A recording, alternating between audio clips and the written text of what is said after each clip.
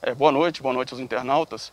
Na data de hoje, a Polícia Militar, né, com a integração do 4 Pelotão e a Companhia Tático Móvel de Muriaé, com o apoio também da guarnição da cidade de Vieiras, nós demos início aí a uma operação denominada aí Batida Policial. Essa operação tem por, tem por foco o combate ao crime de tráfico de drogas. Né?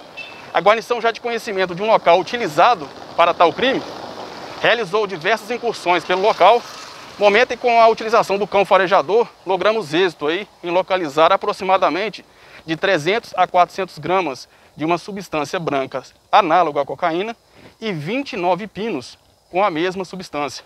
Né? Agora nós daremos prosseguimento à confecção da ocorrência e posteriormente encaminharemos ela para a Delegacia de Polícia Civil. Foi a partir de denúncia anônima esse trabalho da polícia? Não, a própria nós da Polícia Militar, né, com diversos patrulhamentos, observância do local, observação, né, nós conseguimos aí identificar a suspeição do local com indivíduos suspeitos, né, e mediante isso nós montamos essa operação, onde logramos êxito aí em localizar o material. Com certeza, a Polícia Militar está à disposição 24 horas por dia, né, para a população ordeira da cidade de Miradouro e adjacências. Alguém foi preso? Até o momento não, somente suspeitos, né, um deles conseguiu evadir do local, mas já foi identificado e será encaminhado aí para a Polícia Civil, né, realizar as demais diligências.